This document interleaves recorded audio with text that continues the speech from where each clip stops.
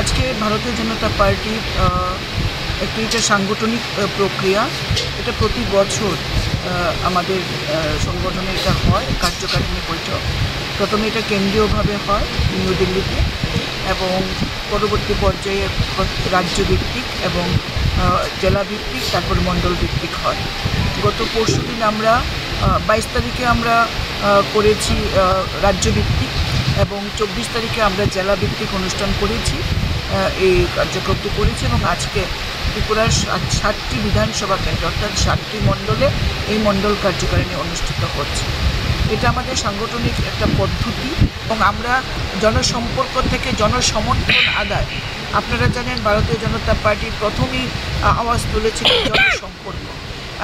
এবং ভারতীয় জনতা পার্টি সেটা করে, কিন্তু আজকের দিনে আমাদের আহ্বান প্রত্যেকের কাছে, প্রত্যেক কার্যকর্তার কাছে যে সম্পর্ক থেকে সমর্থন আমাদের আদায় করতে হবে, মানুষের কাছে যেতে হবে, মানুষকে সরকারি পরিষেবা দিতে হবে, যাতে আগামী লোকসভা নির্বাচনে আমরা আবারও দেশের প্রধানমন্ত্রী নরেন্দ্র মোদীকে আবার পুনরায় প্রধানমন্ত্রী হিসেবে পাই এবং ত্রিপুরার দুটি আসন যেন আমরা প্রধানমন্ত্রীকে উপহার দিতে পারি, সেটাই আজকে এখানে আলোচনা হবে।